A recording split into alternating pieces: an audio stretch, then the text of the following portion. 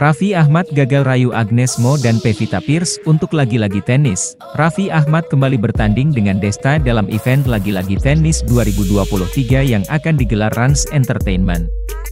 Di balik keberhasilannya membawa Desta dan GG, rupanya suami Nagita Slavina gagal mengajak serta penyanyi Agnes Mo dan Pevita Pierce untuk event ini. Hal itu diungkapkan Raffi Ahmad saat ditemui di kawasan Jakarta Selatan, Sabtu, 3 Juni 2023. Sebenarnya untuk event ini aku ingin ngajak Agnes Mo sama Pevita, Pierce, tapi gagal karena Agnes minta waktu setahun dulu untuk berlatih karena memang dia buta banget main tenis.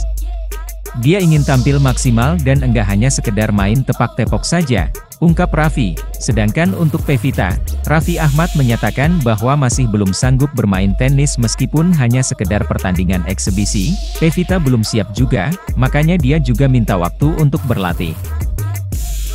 Jadi kemungkinan tahun depan mau main. Tambahnya, dalam event yang akan digelar Raffi Ahmad di tanggal 24 Juni 2023 di tenis indoor Senayan itu juga berniat mengajak serta mengundang beberapa atlet profesional tenis di Indonesia.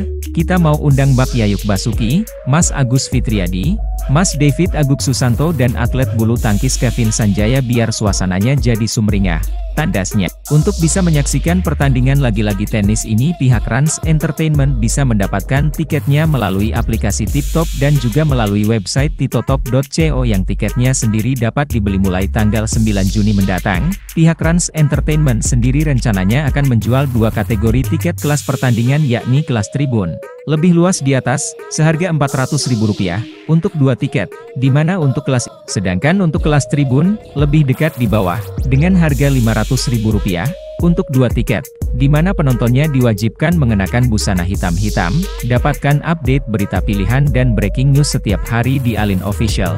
Jangan lupa komen, like dan subscribe, supaya kalian tidak ketinggalan berita artis tanah air Indonesia.